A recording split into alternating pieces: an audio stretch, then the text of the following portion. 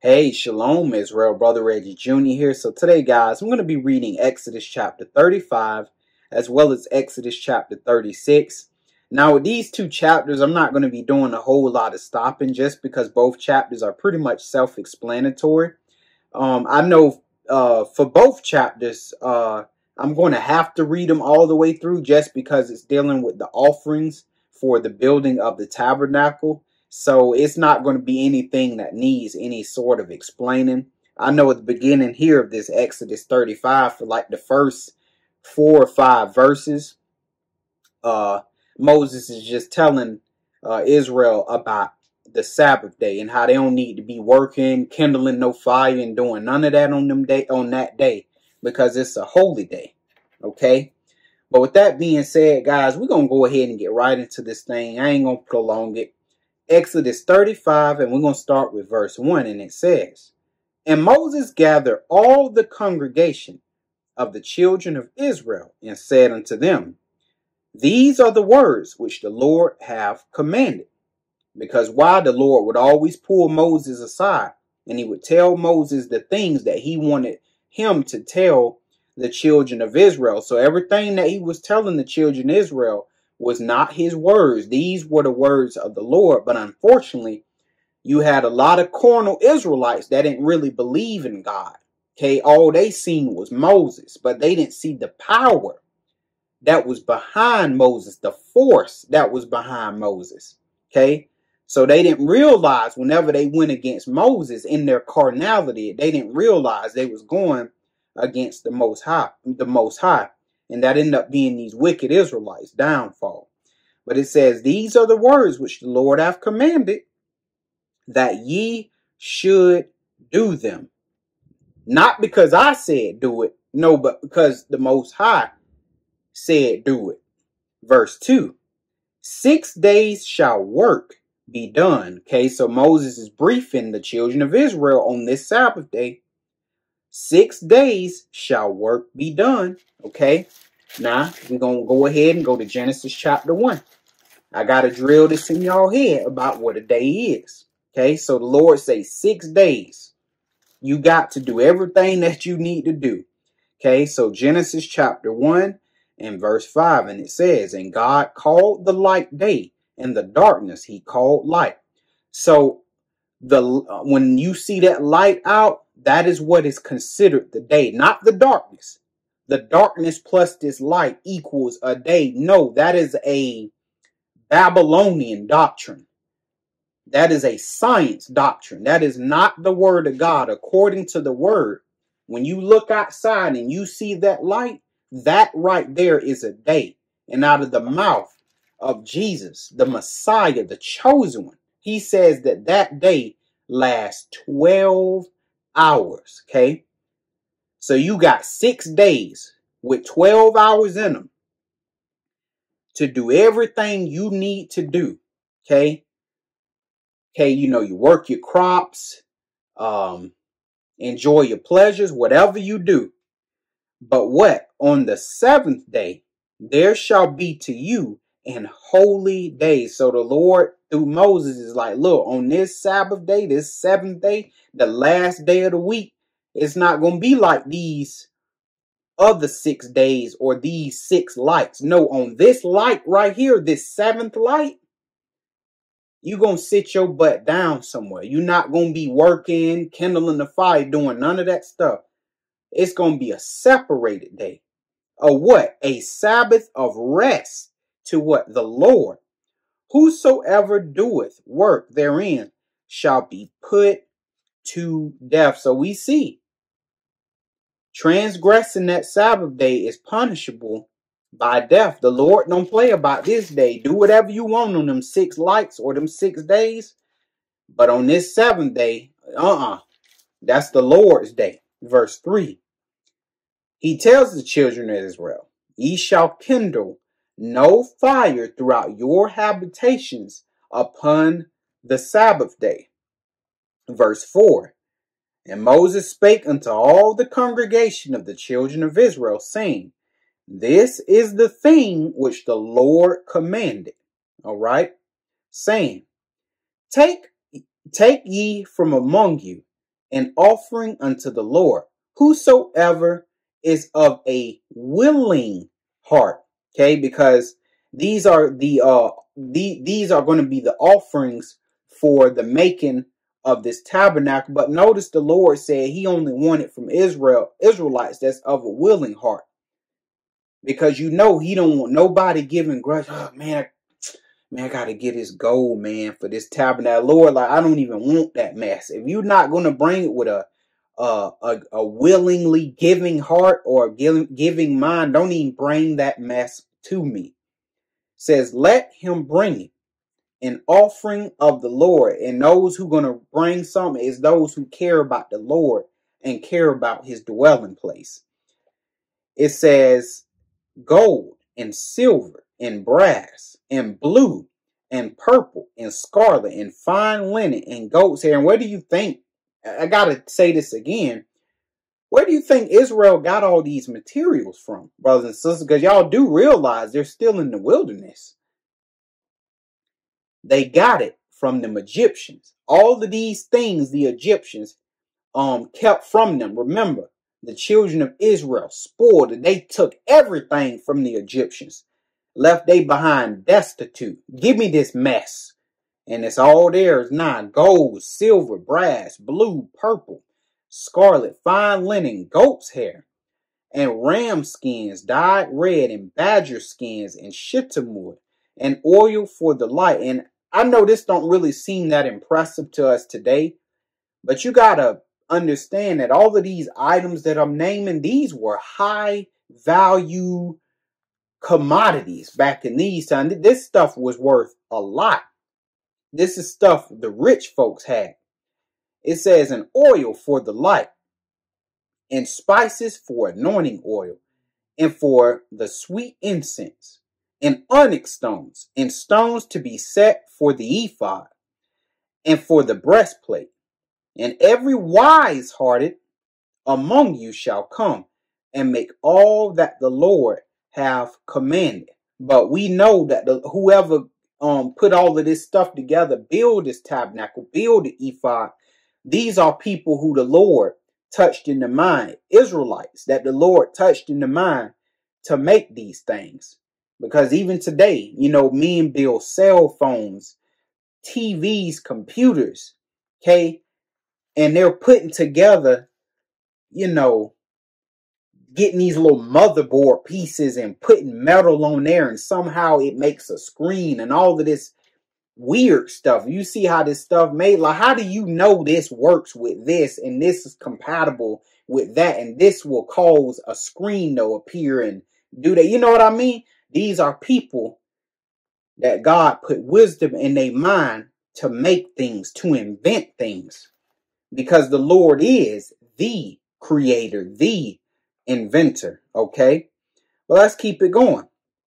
Verse 11 The tabernacle, his tent and his covering boards, his tacks and his boards, his bars, his pillars, and his sockets the ark and the staves thereof. And these are things I believe we covered in Exodus 25 and Exodus 26. Okay. The ark and the staves thereof with the mercy seat and the veil of the covering, ta- the table and his staves and all his vessels and the shewbread, the candlestick also for the light and his furniture and his lamps with the oil for the light and the and the incense altar and his staves, and the anointing oil and the sweet incense, and the hanging for the door of the entering in of the tabernacle, the altar of burnt offering, with his brazen gate, his staves, and all his vessels,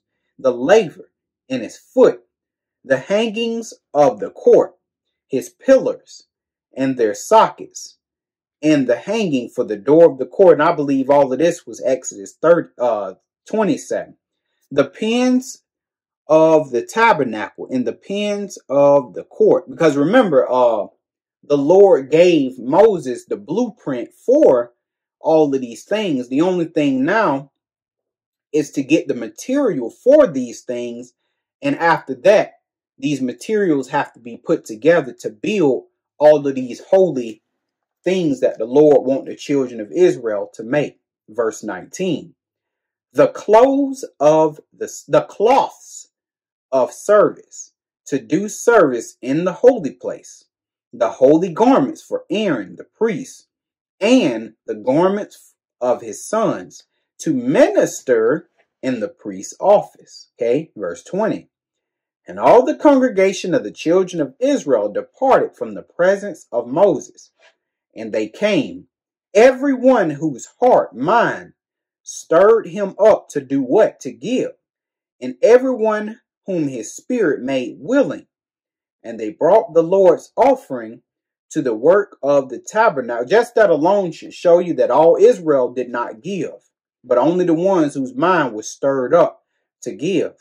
It says, And they brought the Lord's offering to the work of the tabernacle of the congregation, and for all his service, and for the holy garments. 22. And they came, both men and women, as many as were willing hearted, and brought bracelets and earrings and rings and tablets and jewels of gold. So it show that just goes to show you how rich Israel became after they took all of that stuff that them Egyptians held back from Israel, spoiled them, took all of these things. Israel was a rich people leaving the land of Egypt. Says, and every man that offered an offering of gold unto the Lord, verse 23. And every man with whom was found blue and purple and scarlet and fine linen and goat's hair and red skins of rams and badger skins brought them every one that did offer an offering of silver and brass brought the Lord's offering. Every man whom was found shittim wood for any work of the service brought it. And all the women that were wise hearted did spin with their hands. Wait, all the women that were wise hearted did spin with their hands and brought that which they had spun, both of blue and of purple and of scarlet and of fine linen. And all the women whose heart stirred them up in wisdom spun goat's hair. 27. And the rulers brought onyx stones and stones to be set for the ephod and for the breastplate and spice and oil for the light and for the anointing oil and for the sweet incense the children of Israel brought a willing off a willing offering unto the Lord every man and woman whose heart made them willing to bring for all manner of work which the Lord had commanded to be made by the hand of Moses. All right. Verse 30. Because now uh these uh the craftsmen for all of these materials are going to be gathered together. Verse 30. And Moses said unto the children of Israel, See, the Lord hath called by name Bez- Bezaleel, the son of Uri, the son of Hur, of the tribe of Judah, and he hath filled him with the Spirit of God in what? Wisdom, in understanding, in knowledge, and in all manner of workmanship. So we see that the Lord pours out his wisdom into a man to be able to invent certain things that we would otherwise think is impossible. Like your cell phone, look at that. What how did men know what materials to put together to create a screen and have this screen project something? Like, how was that possible? You ever think about that kind of stuff? It, it blow your mind. That's how you know this stuff be of the Lord, man. Computers, all of these things, signals. What? How? How does that work? And those are things that let me know that a God does exist. Verse thirty-two. And to devise and to devise curious works, to work in gold and in silver and in brass and in the cutting of stones to set them, and in carvings and in carving of wood to make any manner of cunning work. And he hath put in his heart that he may teach both he and Aholiab, the son of Ahisamach, and of the tribe of Dan. Verse 35, last verse of this chapter. Them have he filled with his wisdom to, of heart to work all manner of work of the engraver, and of the cunning workman, and of the embroiderer, in blue, and in purple, and scarlet, and in fine linen, and of the weaver, even of them that do any work, and of those that devise cunning work. Okay, now that ends Exodus chapter 35. Now we are going to read Exodus chapter 36, brothers and sisters, and we will be finished. And I believe we're actually almost done with um the book of Exodus. We got 37, 38, 39, 40. Yeah, so we don't got that much to go. So we basically, after I read Exodus 36, we pretty much got three more chapters and we done. So let's go ahead and finish this out, brothers and sisters.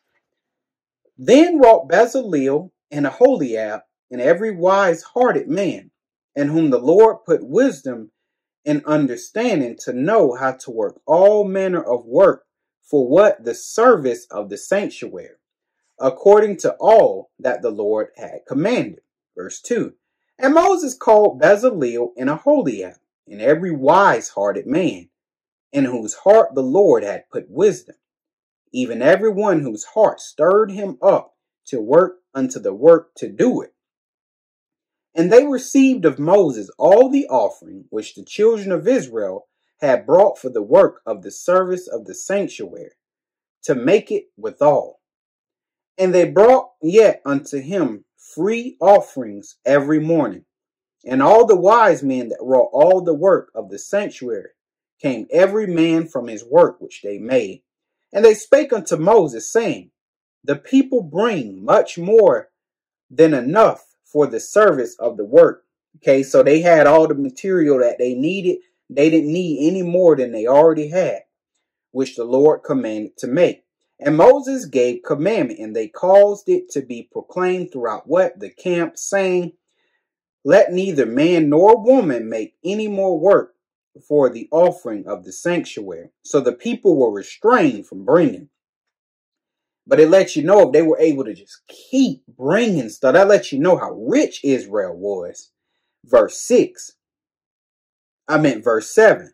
For the stuff they had was sufficient for all the work to make it, and too much. So not only did they have enough to make everything that the Lord told them to make, they had materials left over.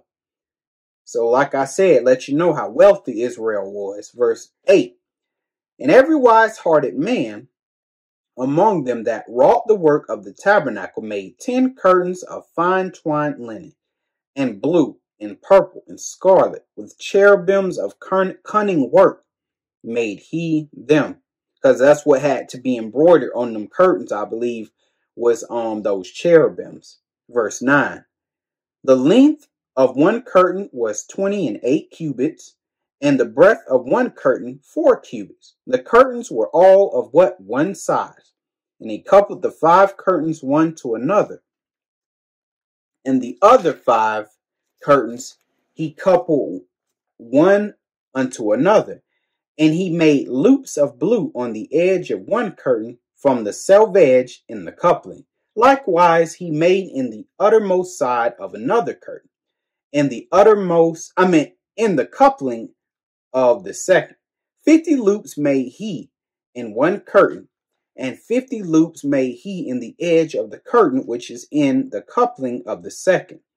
The loops held one curtain to another, and he made 50 tacks of gold and coupled the curtains one unto another with the tacks. So it became what? One tabernacle. 14. And he made curtains of goat's hair for the tent over the tabernacle. Eleven curtains he made them. The length of one curtain was thirty cubits, and four cubits was the breadth of one curtain. Eleven curtains were of one size, and he coupled five curtains by themselves, and six curtains by themselves.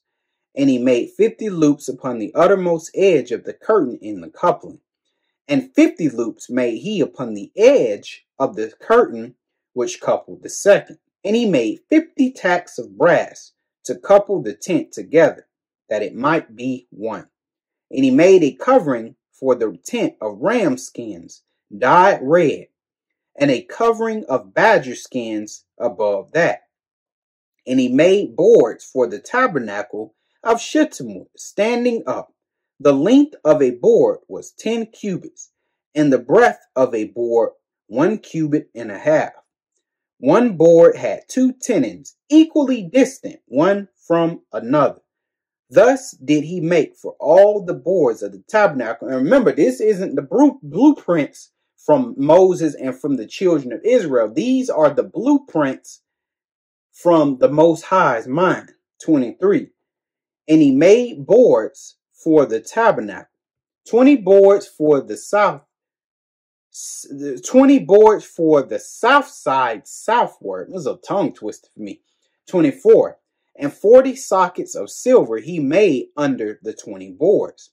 Two sockets under one board for his 20 tenons, and two sockets under another board for his two tenons.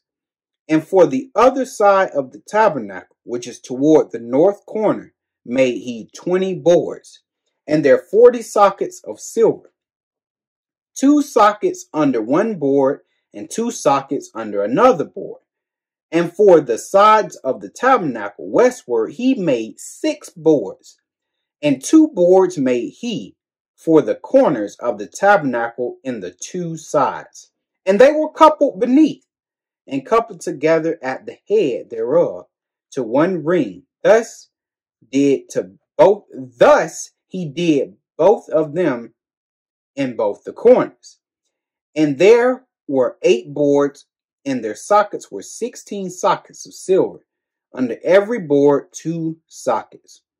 And he made bars of shittim wood five for the five for the boards of the one side of the tabernacle, and five bars for the boards of the other side of the tabernacle, and five bars for the boards of the tabernacle for the side westward, for the sides westward.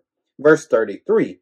And he made the middle bar to shoot through the boards from the one end to another 34. And he laid, oh, and he overlaid the boards with gold and made their rings of gold to be places for the bars and overlaid the bars with gold. And he made a veil of blue and purple and scarlet and fine twined linen with cherubims made he made he it of cunning work.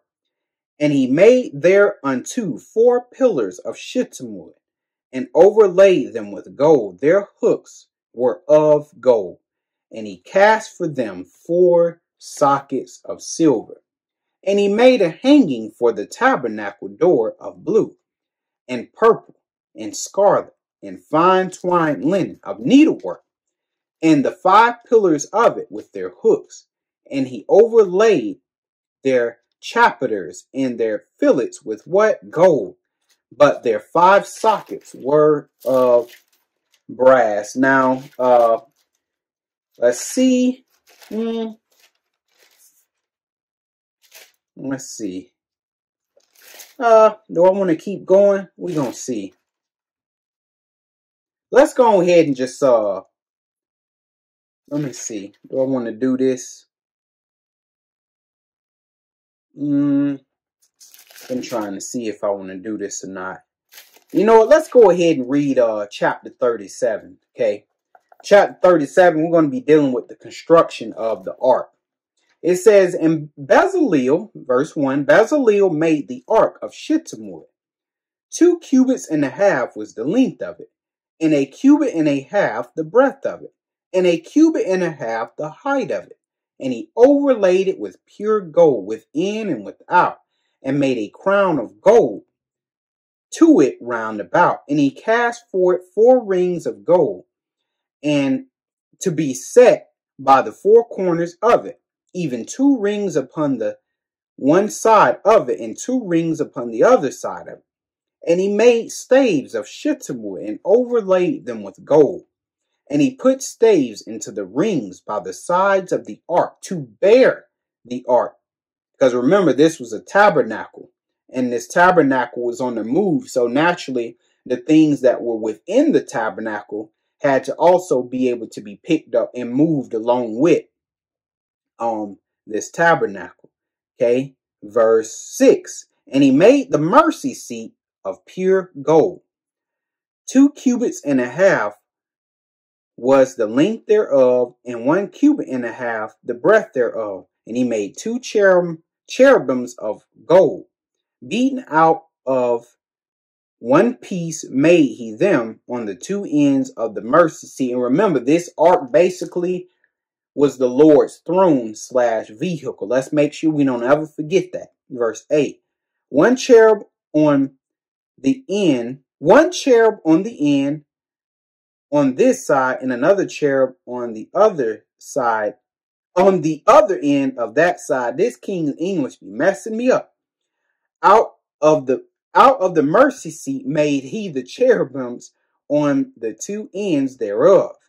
And the cherubim spread out their wings on high and covered with their wings over the mercy seat, their faces one to another. And remember, this is what Satan was. He was a cherub angel who wanted to be God, okay, and end up being cast down. Even to the mercy seat were, were the faces of the cherubims, okay? So now we're going to be dealing with the construction of the table and the candlestick. And it says, And he made the table of shittim wood. Two cubits was the length thereof, and a cubit the breadth thereof, and a cubit and a half the height thereof. And he overlaid it with pure gold, and made thereunto a crown of gold round about. Also, he made thereunto a border of an handbreadth round about, and made a crown of gold for the border thereof, round about thirteen. And he cast forth four rings of gold, and put rings upon the four corners that were in the four feet thereof. 14. Over against the border were the rings, the places for the staves to bear the table. 15. And he made the staves, the staves of shittim wood, and overlaid them with gold to bear the table. Says, um, now it's crazy because um we see how four rings were put into the four corners of this table. So we understand when it comes to the four corners of the table, but we act like we don't know what the Lord is talking about when he say the four corners of the earth. So this whole thing with science about this globe and all of that stuff, that stuff is a lie. The Lord tells you the four corners of the earth if you understand what the four corners of a table is, you understand what the four corners of the earth is. And I just had to throw that out there. Okay. Verse 16.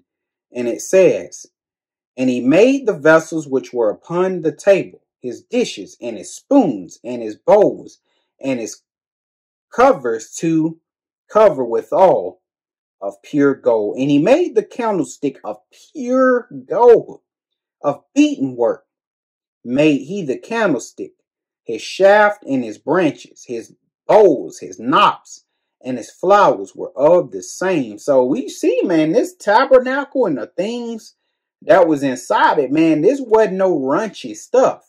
This wasn't no raggedy stuff like they try to show you in the pit. Uh-uh. This stuff, this was some high-end stuff that was being created. Verse 18 and six branches going out of the sides thereof, three branches of the candlestick out of the one side thereof, and three branches of the candlestick out of the other side thereof. Three bowls made, three bowls made after the fashion of almonds in one branch, a knop and a flower, and three bowls made like almonds in another branch, a knop and a flower so throughout the six branches, so throughout the six branches going out of the candlestick. Verse 20. And it says, And in the candlestick were four bowls made like almonds, his knops and his flowers, and a knop under two branches of the same. and a knop under two two branches of the same. A knop under two branches of the same, according to the six branches going out of it. Their knops and their branches were of the same. All of it was one, beaten. All of it was one beaten work of pure gold. And he made the seven lamps and his snuffers and his snuff dishes of what? Pure gold. Of a talent of pure gold made he it, and all the vessels thereof. Okay. Now we're going to deal with the construction of the altar of incense. Okay. Verse 21, 25. And he made the altar, and he made the incense altar of shittim wood. The length of it was a cubit, and the breadth of it a cubit. It was foursquare and two cubits was the height of it. The horns thereof were of the same. And he overlaid it with pure gold, both the top of it and the sides thereof round about, and the horns of it. Also he made unto it a crown of gold round about, and he made two rings of gold for it under the crown thereof, by the two corners of it, upon the sides thereof, to be places for the staves to bear it withal. And he made the staves of shittim and he overlaid them with gold. And he made the holy anointing oil and the pure incense of sweet spices according to the work of the apothecary. And brothers and sisters, that ends the lesson for today. I know I was supposed to read just 35 and 36, but I was like, you know what? Why not throw verse 37 in there? So after this, y'all, we got what 38, 39, 40. So after that, we got just three more chapters and we'll be done, brothers and sisters. Three more chapters and we'll be done. So I thank you guys, um, you know, for sticking with Israel's church through this series of the book of Exodus. Um, I know some stuff may not be exciting, but you know what? It's still the word of God and we have to read it because it's written so therefore, we need to read it. And I hope you guys got some understanding, and I will see you in the next chapter. Shalom.